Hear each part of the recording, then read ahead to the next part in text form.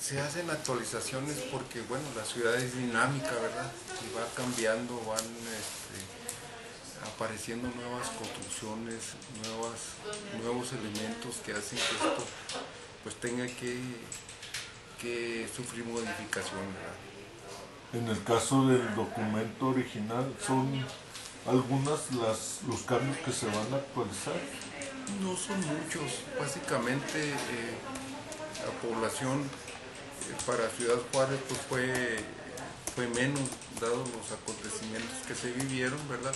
Y ahorita otra vez está retomando otra vez la, la, eh, cantidad de gente aquí en la ciudad, está, está volviendo a ser lo que era antes aquí la ciudad, ¿verdad?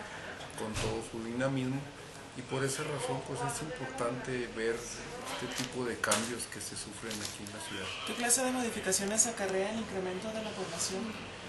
Bueno, y se incrementan incluso, ustedes lo saben bien, ¿verdad? Los servicios y desde luego hay eh, mayores riesgos en, en, la misma población, sobre todo cuando son eventos naturales y también, ¿por qué no decirlo? Los antropogénicos también se nos presentan eh, este tipo de cambios. A mayor población, mayor... De acuerdo al documento, ¿cuáles son los riesgos más latentes en la ciudad? Bueno, aquí lo más latente son las este, inundaciones y los vientos, es lo que más le pega a Ciudad Juárez. Este, en cuanto a los antropogénicos, esto es lo que nosotros mismos hacemos, es lo que producimos, la actividad diaria este, lo que se maneja aquí.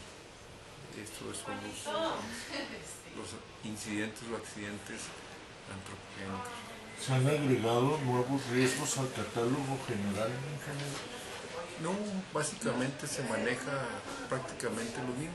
Sabemos que aquí en esta ciudad pues no hay sismos, aunque hemos tenido temblores retirados de aquí no se presentan este tipo de sismos, tampoco tsunamis, ¿verdad? No tenemos este tipo de,